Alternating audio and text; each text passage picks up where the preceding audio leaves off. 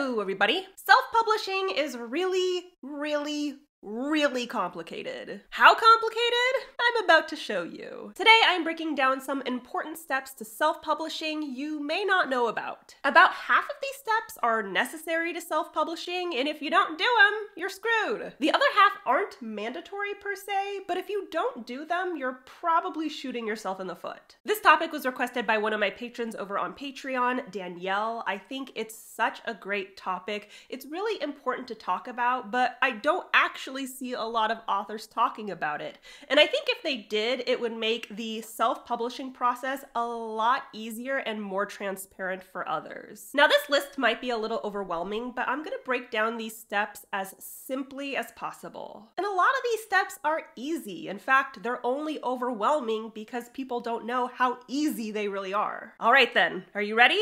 Deep breaths. This is gonna be cake, I promise. Let's get to it.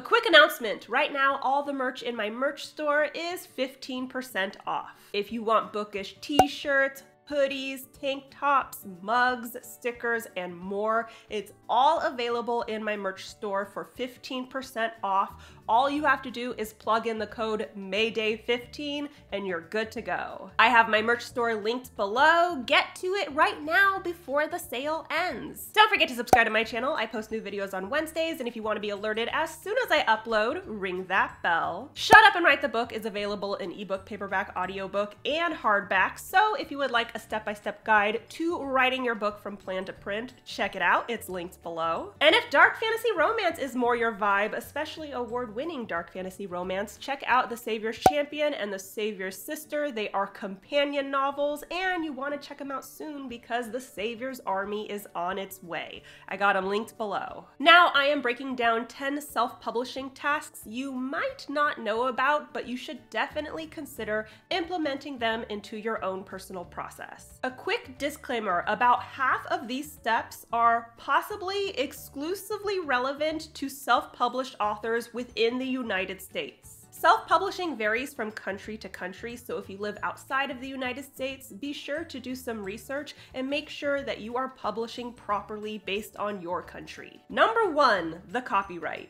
In the US, all written work is considered copyrighted once it's written. However, it can be hard to prove exactly when you first wrote a book, so a lot of self published authors like to cover their bases and upon publication, they file for an official copyright.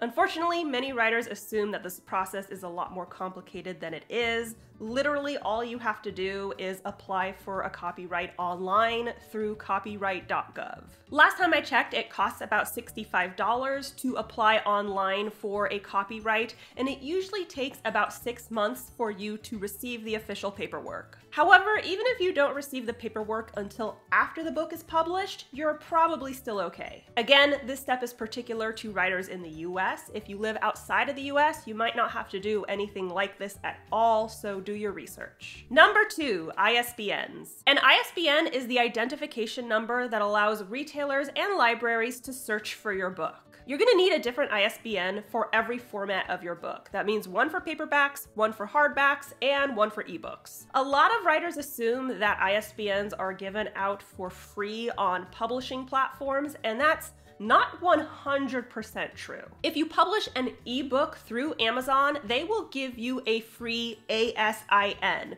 which is a tracking number similar to an ISBN that is exclusive to Amazon. That means you can't use this ASIN at any other retailer. Amazon can also provide a free ISBN for your paperback, but again, it is only exclusive to Amazon and its distributors. That means if you want to sell your book at any other retailers, you're gonna need to buy ISBNs. And be forewarned, they're fucking expensive. Many authors buy ISBNs in bulk because they're cheaper when you purchase them that way, plus you're probably gonna need more than one anyway. In the US, the most popular website to buy ISBNs through is Bowker, which you can reach at myidentifiers.com. On a related note, number three, registering with the Library of Congress. If you want your book available in libraries within the US, you are going to need to register it with the Library of Congress or loc.gov. Once you do this, you will receive a Library of Congress number, and that number needs to go on the copyright page of your book. You'll also be required to list a business address on the copyright page of your book. Why? Hell if I know, but that's the rule. After that, the Library of Congress asks that you send them a physical copy of your book. Once you do this, your book is now registered, which means libraries across the country can easily order your book. It's possible to get your book into libraries without this step, however, it's a whole lot harder that way, so you might as well bite the bullet and get her done. Number four, a P.O. box. I personally don't know any US based career author who doesn't have a P.O. box. A lot of being self published requires you listing your address, sometimes publicly,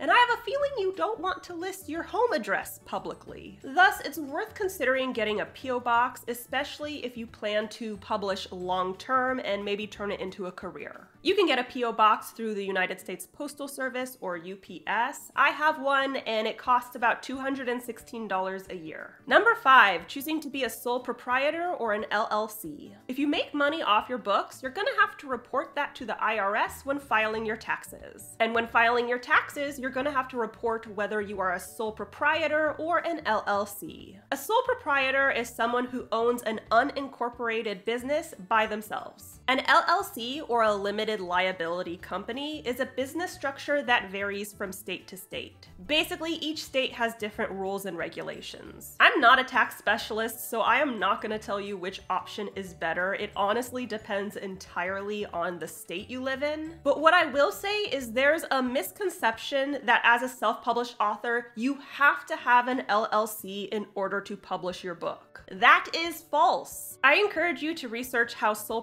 proprietorships and LLCs work in your state so you can make the decision that's best for you. This is another tip that is exclusive to US writers if you couldn't tell. I don't know how taxes work in your country, so I can't help you there. On a related note, number six, your publishing company. This kind of overlaps with the last point because often if writers decide to open up an LLC, it's often in the name of their publishing company. And there is a common misconception that writers must have a publishing company in order to self publish their books. This is a lie, and I know this because I do not have a publishing company. And yet I've published four books with a fifth on its way. If you want to create a publishing company, you totally can, just understand that it's not mandatory. You can easily publish your book under your name instead. Number seven, cover templates. A lot of writers jump into the cover art process before their book is finished and formatted, which is technically fine so long as you understand that you're gonna have to get that cover resized. When you publish a physical book,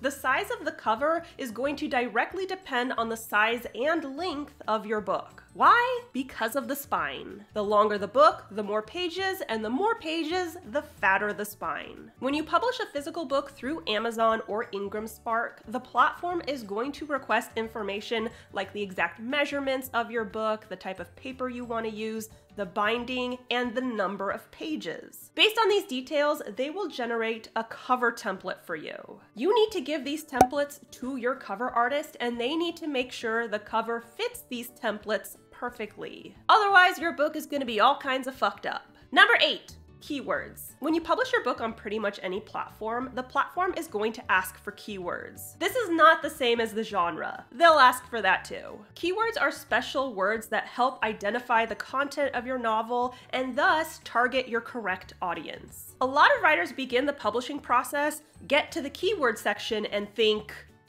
fuck. How do I choose my keywords? A great resource that I utilize is Klytics. It's a platform that generates detailed reports based on specific genres, and those reports will include an entire section on appropriate keywords for that genre. I have an affiliate link for Klytics listed below. It has saved my ass on multiple occasions when publishing my books. Number nine, Amazon, Goodreads, and BookBub author accounts. You're gonna wanna create author accounts on all of these platforms. None of this is mandatory per se, but you're shooting yourself in the foot if you don't. An Amazon author account will help direct readers to your author page as well as your books, which could generate more sales for you. A Goodreads author account will allow readers to review your book on Goodreads, which creates a lot of exposure. And an often overlooked resource is BookBub. It's definitely smart to create an author page there because if you do, BookBub will automatically basically email all of your followers every time you release a new book. That's instant free marketing. I see no downside. And last but not least, number 10, the wholesale discount. Get ready to be pissed. A wholesale discount determines how much a wholesaler will pay for your book. Basically, if you're publishing physical books, a retailer is going to buy that book and then sell it to others. They need some type of discount when purchasing your book, otherwise, they're not going to make a profit. Now, it varies from country to country, but typically, if you want your book available on an online platform, the usual wholesale discount is 30 to 35%. But if you want your book on physical shelves in brick and mortar stores, Typically, the expected wholesale discount is 55%. And yes, this discount is going to affect how much money you make on every book sold. That means at some point you're going to have to choose a wholesale discount based on what's more important to you making more money with each book sold or having your books available in physical stores. This pisses a lot of writers off because it's kind of a damned if you do, damned if you don't situation, but that's capitalism. So that's all I got for you today. A huge thank you to Danielle for requesting today's topic. If you'd like the chance to have a video dedicated to you, or if you want access to all of my rewards. Check me out on Patreon. I recently updated the rewards, so you want to take a look and see what they are now. Some of them are super exciting. I've got it linked below. Don't forget to subscribe to my channel. I post new videos on Wednesdays, and if you want to be alerted as soon as I upload, ring that bell. Shut Up and Write the Book is available in ebook, paperback, hardback, and audiobook, so if you need a step-by-step -step guide to writing your book from plan to print, definitely check it out. It's linked below. If dark fantasy romance is more your vibe, check out The Champion and The Savior's Sister. They are best selling, they are award winning. You definitely want to get on the Tablela journey. I've got it linked below. And be sure to follow me on social media. I'm on Instagram, Facebook, BookBub, and what was the other one? TikTok. I almost forgot that I'm on fucking TikTok. And of course, you can also tweet me at Jenna Moreci. Bye! Hey there, this is Lisa Corton-Leone, narrator for Shut Up and Write the Book by Jenna Moreci. Be sure to subscribe to Jenna's channel and ring the bell. That way you're alerted as soon as she posts a new video. Trust me, you don't want to miss this stuff.